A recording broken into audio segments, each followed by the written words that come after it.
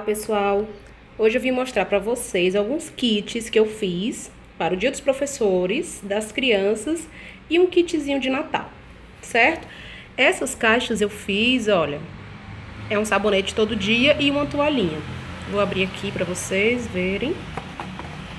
Ó. Tá? E uma toalha.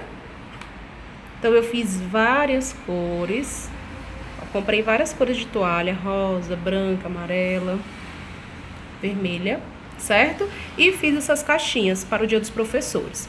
Outra ideia para o Dia dos Professores também é um kit de maquiagem. Lembram dessa necessaire? Eu comprei ela no Empório. E aí tem, ó, lápis, blush e o batom. É uma opção, né, para o kit.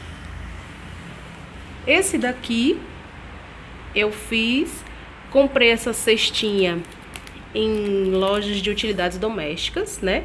É um porta-objeto que pode servir também como porta-escova, pode colocar no banheiro, achei bem legal. Aí eu coloquei um sabonete e aquelas bolinhas de sabão, né, para criança. Bom, aqui é uma caixinha de sabonete, com três sabonetes, né, eu só fiz colocar num plástico e laço. Aqui são três sabonetes e mini hidratante, que eu também peguei no Empório, esse mini hidratante. Esse daqui, aqui, é o estojo, não sei se vai dar pra ver. Ó, é o estojo da Naturé, três tintas, uma toalhinha e um sabonete bololô. Essa cestinha também eu comprei em lojas de utilidades domésticas.